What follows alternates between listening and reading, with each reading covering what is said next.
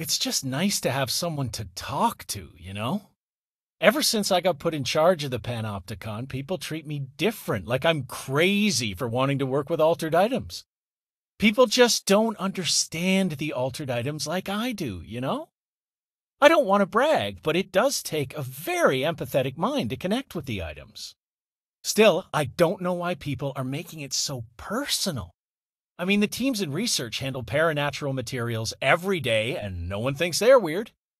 Well, maybe that's not true. Darling is famous for being a bit out there, but when he's weird, it's charming. Altered items really aren't that frightening once you get to know them. If you figure out what they like or don't like, you know, what sets them off, then there's nothing to worry about. I guess at the end of the day, we're still just wild animals scared of our own shadows. We're supposed to be on the same team, but sometimes it feels like it's every department for themselves like it's a race and we're all trying to be number one. If it is a race, though, I'd say Darling is a mile ahead of everyone else. He was Trench's golden boy for years, but that relationship has gotten pretty tense, or so I've heard through the grapevine. Not that I spread rumors, just, you know, people talk. Not me, though. I keep my nose to the grind. Too much work to do to focus on those kinds of things. I need to stay focused so I can get my work done and get home to feed Alfred. Of course, can't always make it home for mealtime, so I have my neighbor check in on Alfred at 7 o'clock if I'm not back yet. She's very nice. Her name is Maria. She's older. She came to New York in the 50s to attend school and has been here ever since. She has a couple of kids. I met them at Thanksgiving. Big family. Very nice people. Anyway, she has a key to my apartment and she gives Alfred his dinner if I'm not home. I'm going to have to buy her a nice fruit arrangement as a thank you after this. I'm missing a lot of Alfred's meal times. She's probably going to have to go to the store for more wet food. I'll have to remember to pay her back. Hold on, let me make a note. Pay back Maria for Alfred's food. Okay. Oh, one more thing. And buy her a fruit arrangement. All right, done. Are you a cat person? I don't think I ever asked. You seem like one, though. You'd like Alfred. He's very proper, really carries himself well, you know? I named him after my favorite poet. Felt like a good fit. I got Alfred just before Sylvia died when I was at the. Huh. You know, I don't really remember where I got Alfred from. But boy, those two did not get along. Oh, ho, ho, no, no, no. Sylvia thought she owned the place. Didn't like me getting in her way, scratched me more than once when I was just trying to move her food bowl. That cat was a real asshole. I'm realizing now that that language was not entirely, um, professional. You see, Sylvia didn't tolerate most people, or animals, or anything. And that's what I meant when I said asshole. I would never use that word about a person. It was just, uh, you know, uh, hey, there's a light flashing on the console here. I got to, uh, check this out. I'll get back to you later. You know, I was in the investigation sector when it was evacuated. Well, not there, there. I was in executive because they have the best snack machines. You may think they're all the same because of that plain white packaging, but there's a difference. You know those thick ruffled potato chips? They're my favorite. All the machines outside executive carry those flimsy little thin chips. They have no texture. I may as well eat cardboard. Anyway, I get back to the elevator and they tell me the sector is being evacuated. They wouldn't even let me go back in for my stuff. Can you believe that? I worked at that desk for years. I had photos on it my favorite stapler, one of those good ones that could staple a 50 page report, no problem, a little cash, and some uh, personal recordings. But uh, yeah, they lock the whole area down tight, no one in or out, and then they march us all back to executive to interview everyone. I wasn't even there when it happened, and they were asking me if I noticed anything suspicious, if I saw anyone tampering with the containment cell, and so on. Well, the only thing they learned was I prefer the ruffled chips to the non ruffled ones. Better mouthfeel, like I said before. And then, after three hours of questions, they recommend we all go for trauma counseling. I was like, no thanks, I have my own therapist. I know I could use the work therapist and save a few bucks, but I worry they're going to put anything I say in a file somewhere. A bit paranoid, I know, but I work for a secret government organization, so yeah. I stopped going a few years back. To my therapist, I mean. She said that a lot of my issues stemmed from a negative outlook. Of course, I can't tell her anything about what I do, so I just had to sit there and nod. I kept waiting for that big aha moment. You know, where I realized that my need for approval stems from my dad or something? Turns out therapy doesn't work like that, so I stopped going.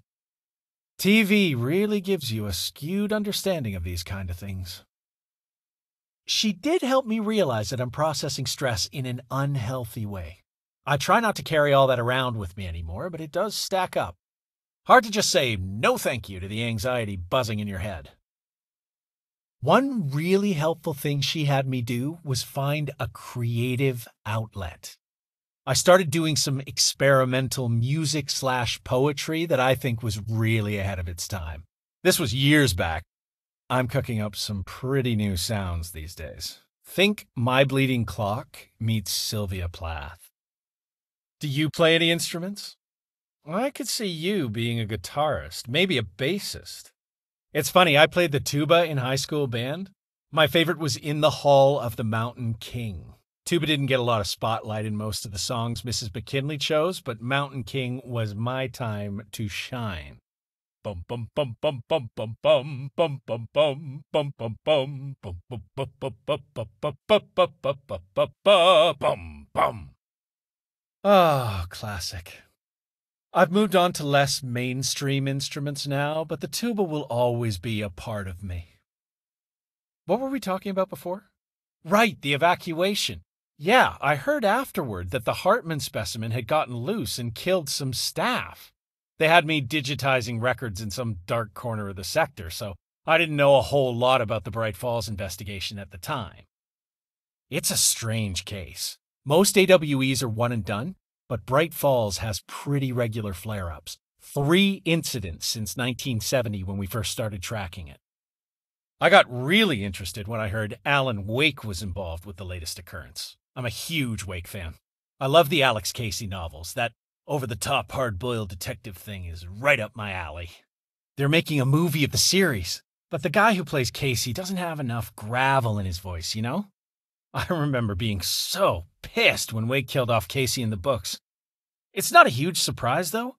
Wake sounded like a bit of a dick. Drank too much, fought paparazzi. The tabloids even said he was an abusive husband. So, yeah, troubled artist and all that. Apparently, there were chapters of an unfinished manuscript floating around after Wake disappeared. People say they're cursed, which is a very discriminatory term against altered materials, by the way. The forums all call the unfinished book Departure because Wake kept saying it would be a departure from his previous work. I found some pages that are supposedly the real deal on the internet. It's pretty dark stuff. He was going full horror, which makes sense since he used to write for Night Springs, but I would have preferred if he did something a little lighter. I've always said Wake had a great instinct for humor.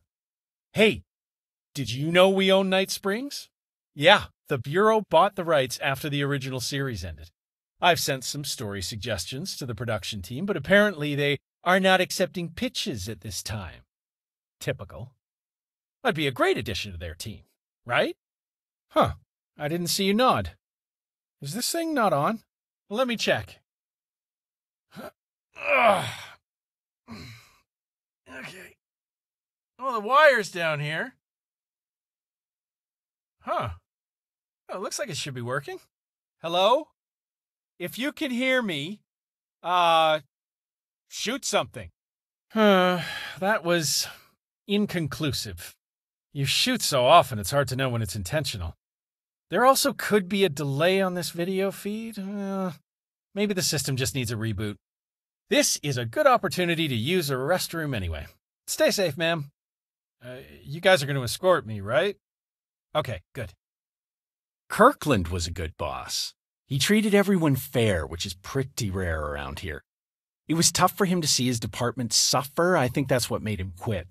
We were overworked and understaffed after the Hartman incident. I don't know what was going on with him and Trench, but there were rumors flying around like crazy. Some people said Trench didn't like internal investigations looking into his management team. All I know is what I heard around the water cooler. I was pretty low on the totem pole back then. Did data entry mostly. Keep your head down, do your work. That's my motto. Got me to where I am today, so obviously it's a pretty good one. I knew the investigation sector was a dead end, so I was always on the lookout for a transfer. When a spot opened up in the Panopticon, I jumped on it like a cat. A cat motivated by professional development. I never looked back. Except for the things I had to leave at my desk when we evacuated. I did actually try to pay a ranger to go back in and get those. They refused. They even told Marshall, who chewed me out for like an hour. There's a good lesson for you, ma'am. Rangers are tattletales. Don't trust them. Yeah, you two heard me. Oh, yeah, just keep doing robot voices. That's super helpful. I think they have superiority complexes. Just because they get the cool guns doesn't mean they're more important than you and me. This is a good segue into another issue. I think all staff should be trained in the use of firearms. I mean, if a HISS gets in here, what am I going to do? Throw my copy of Panopticon safety protocols and regulations at it? I'm a sitting duck. Upper middle management should have a way to defend themselves. I know everyone carrying guns may not be appropriate in a workplace environment, but we here at the FBC face some pretty dangerous stuff on a fairly regular basis. I can start a petition and get some signatures on your desk if you think that would be helpful. Also, hazard pay. What exactly is our policy on hazard pay? We could be making a pretty penny right now, given all the, you know, hazards. I can't tell you how many times. A, hey, is that a quarter? You will not believe this, but I just found a silver dollar on the ground. One of those Sacagawea ones. We were just talking about money and a dollar shows up. Synchronicity, as those dweebs in research would say. You know, I never bought into that garbage. The entire theory seems way too convenient to me. Things happen because they happen, not because of some metaphysical alignment of intentions or whatever. And I'm not talking about fate. I don't even want to open that can of worms. No, what I'm saying is that one force acts and the universe feels it. Action, reaction. A stockbroker jumps off a building and lands on a fire hydrant, a year later, the fire hydrant becomes altered and fills a city block with poisonous gas. 83 people die. The stockbroker lost millions because a company selling mining equipment went bankrupt, which happened because a mine in northern Canada collapsed because of a faulty brace, which I'm sure was faulty because some factory worker made a mistake, which was only because he was tired because of blah, blah, blah, blah, blah, blah, blah, blah, blah. You get the point. Everything has a cause which leads to an effect which then serves as the cause for something else, and on and on and on. There is no fate or synchronicity. There is trauma going on forever like a chain connecting everything through mutual pain. My altered items are just links on that chain. We need to help these poor objects, not treat them like criminals. Just because a refrigerator can't tell you it's in pain doesn't mean it's not. I guess it's no surprise we can't empathize with appliances. Hell, we can't even empathize with our own species properly. We kill and imprison people and never think twice. We're the real monsters. They should lock us up in the panopticon. The altered items are just victims of circumstance. They never asked to be altered. But hey, let's just put them in jail instead of trying to help them. Because that would require a heart. That would require the ability to feel something other than hate, and envy and self centered, stupid, goddamn, idiot, lizard brain narcissism. Sorry, I, I got a little, uh, carried away there. Uh, oof. I'm, I'm gonna just, I'm gonna just sit down for a second. Do you read horoscopes? I do. They're very handy. Don't get me wrong. I don't think the planets are aligning to dictate my entire life, but you know, it's it's kind of comforting. I bet you're a an Aries. Am I right? I'm right, aren't I? Knew it. I'm a Taurus. Lots of trust between those two signs, so that's good. It means we're going to do great things together. Look at how we're already tackling this Hartman problem. We've got this cat in the bag. I never realized what a horrible phrase that is. Anyway, this whole Hartman thing has been tearing the Bureau apart for two years now. Kirkland, the old sector head, even resigned over it. But you just rushed in and took the problem into your own hands. That's leadership. No politics, no blame, just good, honest work. That's how I work too. I come in, get to work, leave at five. No exceptions. Well, some exceptions. When, when the building is on mandatory lockdown, for example.